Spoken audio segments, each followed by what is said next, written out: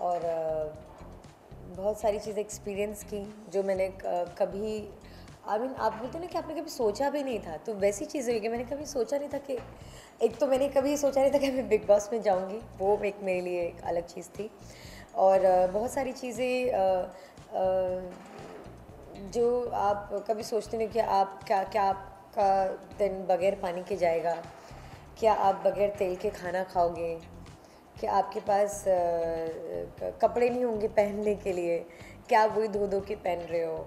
और इतनी सारी चीज़ें एक अलग वहाँ पे रही हैं जो अब मुझे पता चला कि आप जब ये सब नहीं होता तो आप कैसे सरवाइव कर सकते? तो मेरे मेरे लिए एक बहुत अलग और बहुत अच्छा एक्सपीरियंस था और मुझे बहुत मज़ा आया। वैसे घर में तो अ, मुझे अ, मुझे यही कहा जाएगा तुम बहुत बच्ची हो छोटी हो। लेकिन बहुत स्ट्रांग हो। अ, मेरे लिए टैगलाइन भी था कि दिखन में छोटन घाव करे गंभीर। तो अ,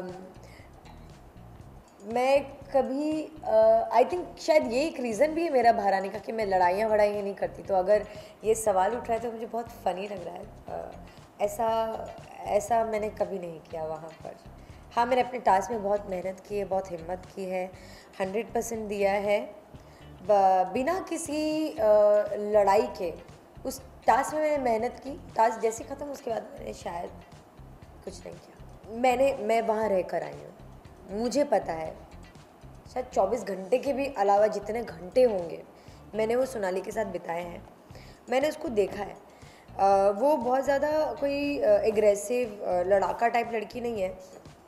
कोई उसको बोलते तो उस वक्त उसको जवाब दे देती। है बस मन में लेके चलती नहीं, रखती नहीं है।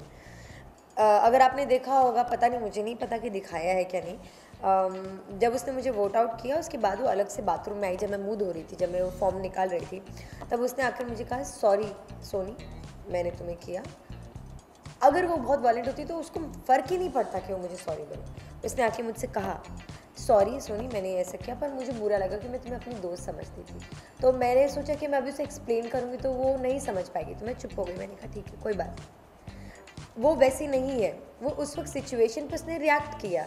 तो आई डोंट थिंक सो को बहुत लड़ाका या ऐसा ये फाइट करने वाली लड़की, ऐसा नहीं है। और सबकी अपनी नेचर है। शायद उसकी नेचर है, वो स्ट्रेट बोल देती है। और घर में लोगों को पसंद आ रहा है या बाहर लोगों को पसंद आ रहा है या नहीं पसंद आ रहा है, मुझे सीरियसली नहीं पता। बट कोई भी उसको वहाँ पे ऐसा नहीं